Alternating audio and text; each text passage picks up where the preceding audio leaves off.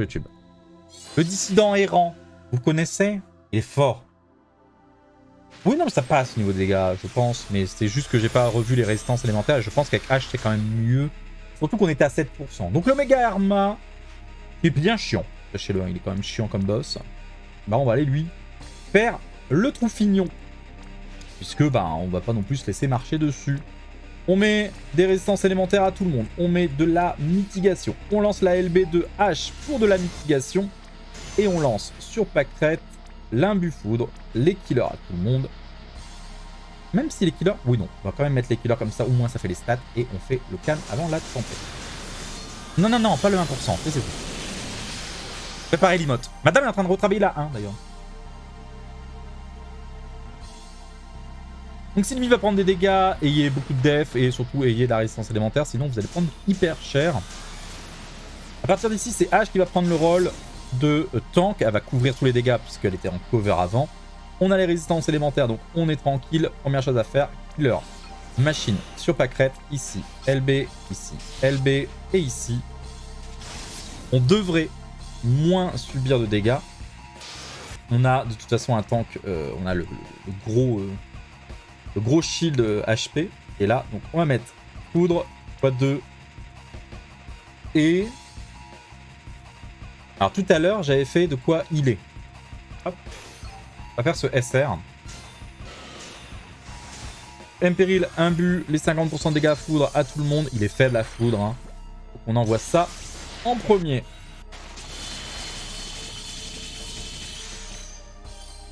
Mais non, le 1%, non, n'existe pas. Oui, pourquoi pas. Pacrette qui prend les dégâts à la place de Sylvie, ça me va. C'est pas mauvais. De toute façon, H va être... Alors, là on a besoin de refaire du BS. Ici, on a besoin... On n'a aucun moyen de récupérer la LB. Donc du BS toujours. Ici, on va passer au 250%, au stat à tout le monde, pour être tranquille.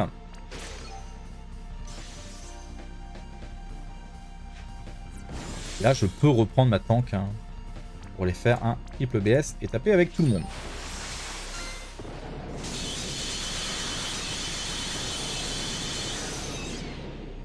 Kaito à la LB, Pacrette à la LB, il n'y a plus qu'à faire un truc. C'est Kaito. Mais non, mais de toute façon, Kaito, on n'a pas besoin. Donc, on va faire ce sort, parce qu'il fait beaucoup plus de dégâts que sa LB. Là, on fait sa LB. On revient en arrière. Mécanique sur Pacrette. Sylvie. On peut, faire... Euh, on peut aller chercher ça pour Esther pour le 300% de LB damage. Et on peut lancer les deux breaks pour avoir de l'esquive physique, la précision, tout ça. Comme ça, on est tranquille, on a tout ce qui est placé. Et puis, euh, bah let's go.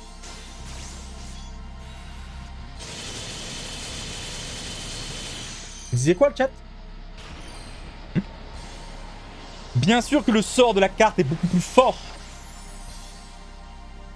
que sa LB de Kaito. Faut juste garder ça pour un second. Vous connaissez bien. Donc c'est un combat qui va pas être facile, clairement. Ça, on vous prévient YouTube.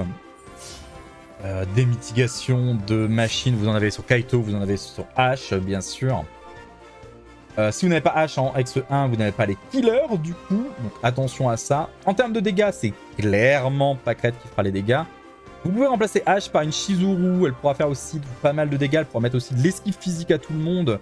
Mais ayez en tête de la résistance feu, de la résistance ténèbres, de la résistance lumière. D'accord? Ça, c'est hyper important là-dessus.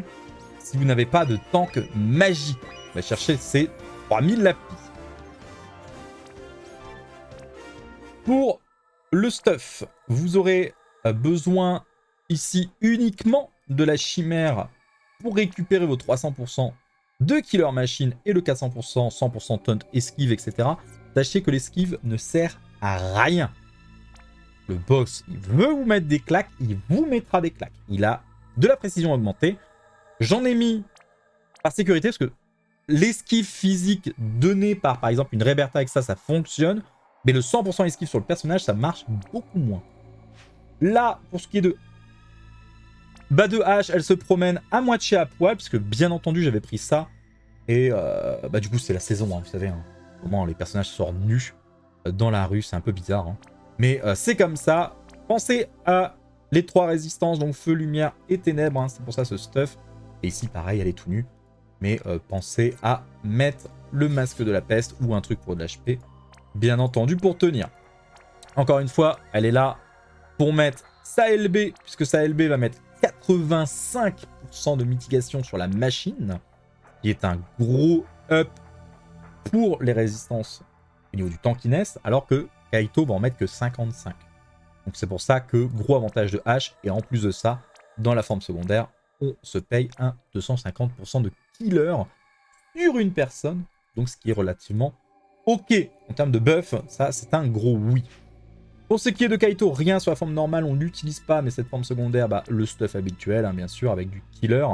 On a du killer machine ici, alors que ici on n'en a pas besoin. Pourquoi? Parce qu'on est capé en 300% de killer machine, 350% de LB damage, l'esquive toujours présente. Et surtout, cette carte qui va vous permettre d'avoir un x 2000 au total en termes de dégâts d'LB, qui est loin de sa LB en fait, puisque sa LB ici est un x 100 et pas un x310. Pour beau multiplier x100 à x8, ça fera 800. 800, c'est clairement plus petit que 2000. Et je rappelle que, ben, pourquoi on l'a pas utilisé en 1 et pourquoi on l'a utilisé en 2 C'est tout simplement parce qu'en 2, on l'a utilisé à la deuxième LB de Esther parce qu'on était à 100% de dégâts de foudre. D'accord? Bonsoir Maruta, bonsoir Shuki. Bonsoir à tous. Pour ce qui est de Sylvie, 100% tonne, 100% esquive, de la résistance lumière ici. Hein.